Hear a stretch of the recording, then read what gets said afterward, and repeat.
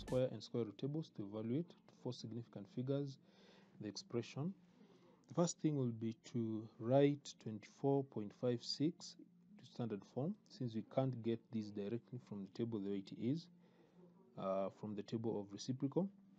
So this one will give us is 24.56 into standard form will give us 2.456 times 10 uh, we can proceed from the tables of square to get the square of 4.346 which will give uh, correct to four significant figures 18.89 now the next step will be to insert these values in our expression. So we have 1 divided by this is a 2.456 times 10 add 18.89 uh, we can go ahead and split these.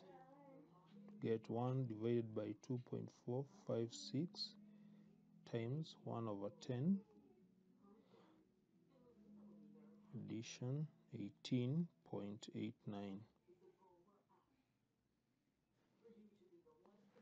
um, use the tables of reciprocal to get these so we're going from our tables to get the reciprocal of 2.456 that is uh, reading it directly. It will give us 0 0.4072 times. You'll not get the reciprocal of this just multiply it by 10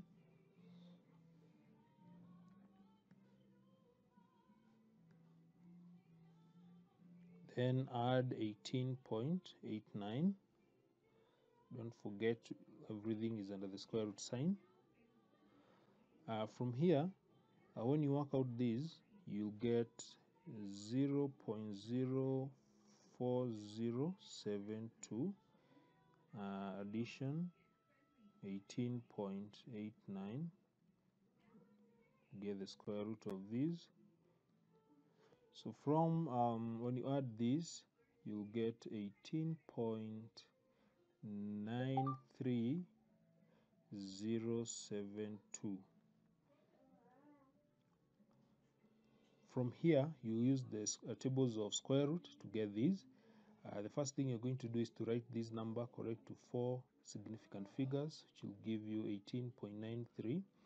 Then reading directly the square root of this number from the table, you'll get 4.351 and that is your solution.